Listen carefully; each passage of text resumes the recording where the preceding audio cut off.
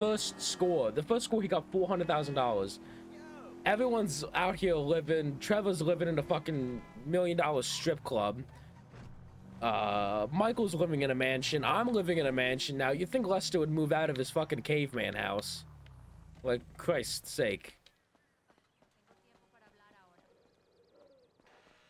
I think he had money to fix his fucking legs too.